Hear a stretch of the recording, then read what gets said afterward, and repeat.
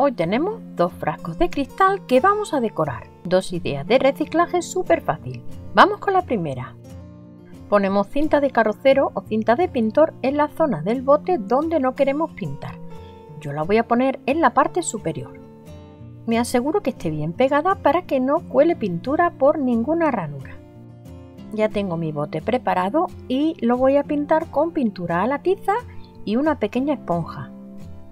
La diferencia entre pintar con pincel y pintar con esponja es que cuando pintamos sobre el cristal con un pincel se nos quedan las marcas de las pinceladas. Cuando pintamos con una esponja nos queda una especie de rugosidad que cuando seca queda muy chulo. Nos crea una textura que queda muy bien. Si utilizas pintura acrílica necesitarás previamente poner una base de gesso o imprimación sobre el cristal. En esta ocasión, como estamos utilizando pintura chalk o pintura a la tiza, la aplicamos directamente sobre el cristal porque esta pintura no necesita imprimación. Y con la misma pintura pintamos también la tapadera del bote. Mientras seca el bote vamos a recortar la servilleta. Utilizaremos un pincel con depósito de agua para ir marcando el contorno de las siluetas e ir rompiendo la servilleta por esos contornos marcados. De esta forma el corte no queda uniforme. También quitaremos las dos capas blancas de detrás de la servilleta. Ya tenemos la servilleta recortada y ahora vamos a pegarla sobre la tapadera con pegamento para decoupage.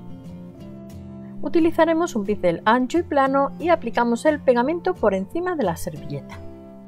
Y hacemos lo mismo en el bote, colocamos la servilleta en su sitio y con el pincel aplicamos el pegamento por encima de la servilleta.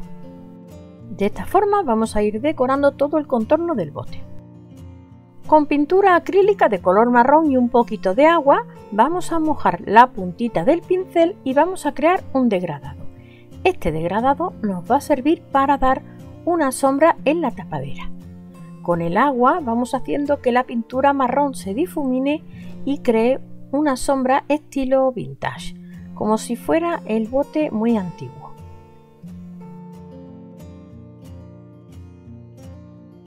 Antes de pintar la sombra en la parte del cuerpo del bote, voy a retirar la cinta de carrocero que habíamos puesto al principio. Una vez hecho esto, hago la misma operación que hicimos en la tapadera. Con un poquito de agua y pintura acrílica de color marrón voy a crear un degradado en el pincel y ahora voy a pintar en esta zona de arriba como una sombra degradada de color marrón que le da un aspecto envejecido al trabajo. Voy a aplicar esta sombra degradada en la parte de arriba del bote y también en la parte de abajo. No te olvides de poner agua en el pincel para hacer este efecto.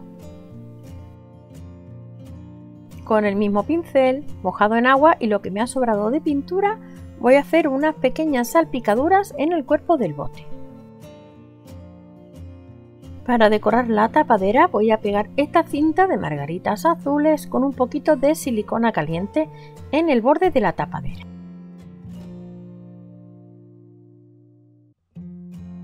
Y ya tenemos la primera idea de reciclaje terminada. ¿Verdad que ha quedado bonito? Pues vamos con la segunda.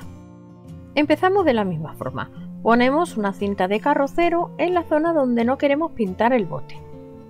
Ahora empezamos con la pintura. Igualmente vamos a utilizar pintura a la tiza, pero esta vez de color rosa. Y también la volvemos a aplicar con una pequeña esponja. Pintamos también con la misma pintura la tapadera del bote. Con un pincel muy pequeñito voy a pintar unas flores con un producto que se llama Mixtion, que es lo que se utiliza para pegar el pan de oro. Es una especie de barniz que al secar se vuelve adhesivo. Voy a pintar unas flores en la tapadera y también en la parte donde habíamos pintado con pintura a la tiza. Este barniz es transparente, con lo cual tendremos que ir mirando la zona por donde vamos pintando para no equivocarnos.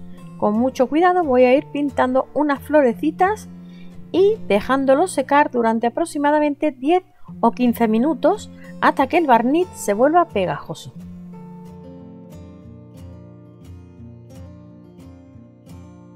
Ya tengo el pan de oro preparado y lo voy aplicando suavemente con los dedos.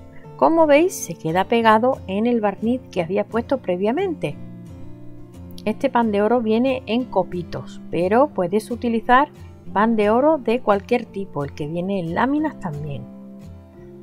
Lo voy frotando con el dedo y se va quedando pegado. Como veis tengo una hoja de papel debajo porque todo el sobrante que va cayendo abajo en el papel eso lo voy a reutilizar. Esos trocitos se pueden reutilizar. Para limpiar el pan de oro sobrante utilizo un estropajo y queda perfecto, queda limpio y pulido. De esta forma voy a ir decorando toda la zona donde había puesto pegamento.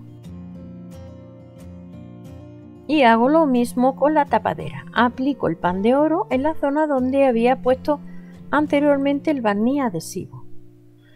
Lo voy distribuyendo con los dedos y con el pincel. Y todo el sobrante va a ir cayendo en la cajita para reutilizarlo de nuevo. Ahora lo limpio con el estropajo y queda perfecto.